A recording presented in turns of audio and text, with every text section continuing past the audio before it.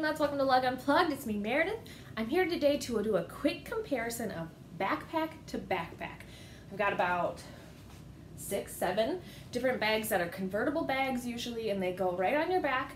And I thought I'd give you a quick little size, side to side, how they look, and also how they look when I'm wearing them.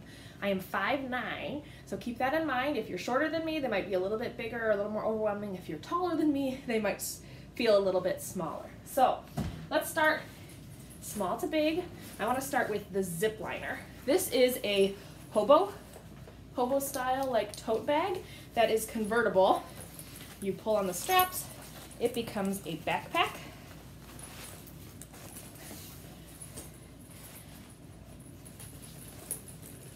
This is probably the easiest to convert backpack that there is, and this is in the bouquet red. So there's the zip liner. Let's hold the zip liner up next to the canter. You can see that the zip liner is maybe a little bit bigger when they're both laid flat, but I think that the canter can hold a little bit more because of the way that its pockets are. So this is in Wildflower Olive. This has tote straps, a crossbody strap, and backpack straps. But for today, we're just looking at the backpack straps. So here it is on my back. Something to pay attention to is when you hook up those backpack straps, because you can unhook them, this tote strap, you can either go above or underneath the backpack straps.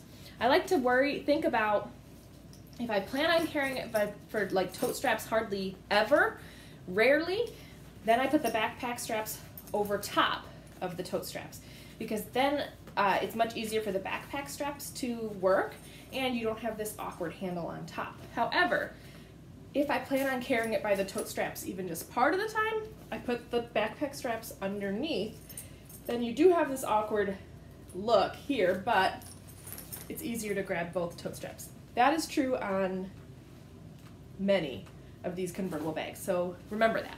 So here's the canter, and we're gonna compare it to the Midi Puddle Jumper 3. Very similar in size. In fact, look at that. The magnet pockets just wanna They're holding hands, guys. So cute. Um, very similar. I think that the mini puddle jumper is slightly bigger. This one I did the back handle underneath the backpack straps because that's how I was carrying it yesterday. This is in the bouquet black. But here you can see what it looks like on. It really rests right above my hips here at the bottom. Um, I like to keep my backpacks pretty high. I don't really want them, you know, sometimes you put them too low and then they do this while you walk because they're they're against your glutes, which is not always a good look. So there's the mini puddle jumper three. Just for argument's sake, here's the back flip.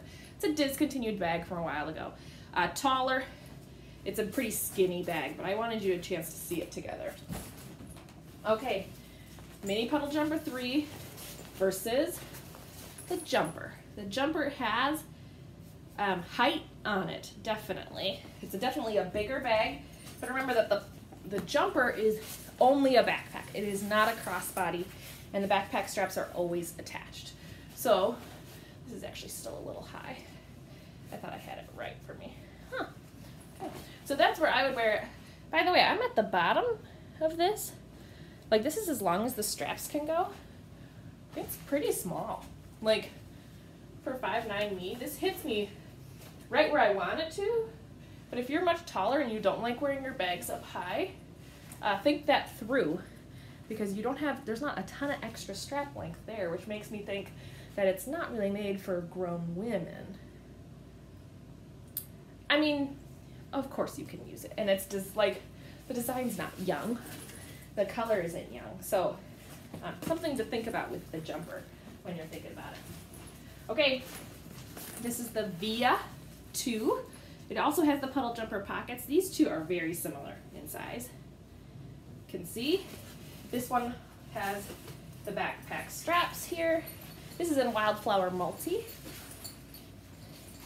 These backpack straps are much longer, so even if I, I can extend them out and then it drops way lower. So these straps have a lot more length than the jumper straps do. Interesting. Hmm, I didn't notice that before I was putting them on for you guys. So here's the look of that Via 2 on me. And then let's hold up the big one This is the Puddle Jumper backpack. So Puddle Jumper backpack versus Via 2. For argument's sake, Puddle Jumper backpack versus Jumper.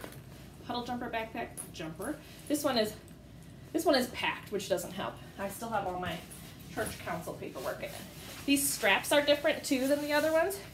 They are more like fleece or I don't know, this webbing material. So they the rest of them are this with a rubber on the backside. This one doesn't have rubber. But this is honestly the most comfortable bag for me out of all of them. Plus, uh, it's got plenty of strap length here for the backpack straps. Easy for me to wear, the right length. Um, right now I've got it even a little bit low. So I think this one feels the most natural and it looks the most natural for me to be wearing as well. So there you have it, my quick side to side of all the backpacks that I own from Lug. If you like my videos, please click like and subscribe and comment down below which backpacks do you own and which one's your favorite and what do you use it for? I'd love to hear more. Thanks for watching. Bye you